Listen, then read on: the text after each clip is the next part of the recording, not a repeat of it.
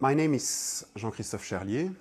I, am Belgian and I'm working at the University of Louvain in Belgium.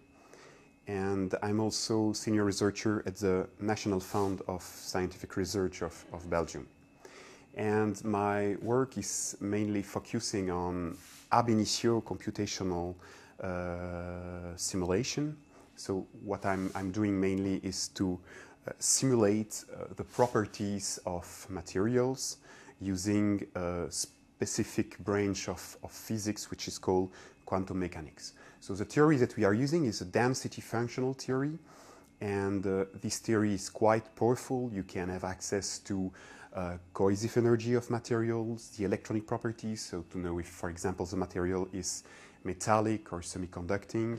You can also have access to dynamic properties like uh, the vibration in the materials. So you can, you can for example, predict uh, thermal conductions and things like that.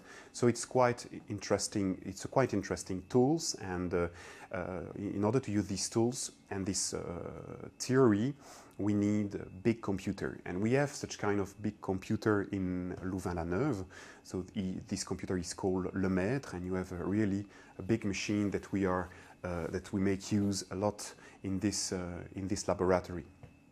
Now that I've explained about uh, the, the, the, type of, of work that I'm doing, I'm going to explain what, what kind of material I'm uh, looking at.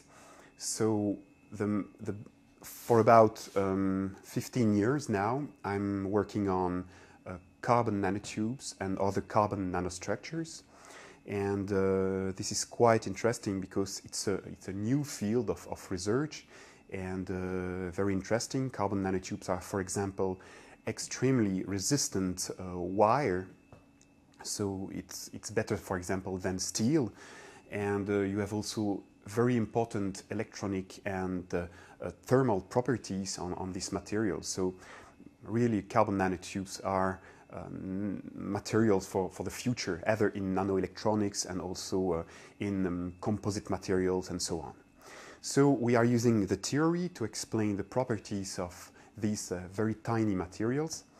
And in this project, in fact, we are going to, to use both to uh, investigate uh, a device which will probably detect a single molecule in a gas of, of, of gas in, a, in an environment. So it's a quite applicable project, but it's quite interesting and quite challenging too.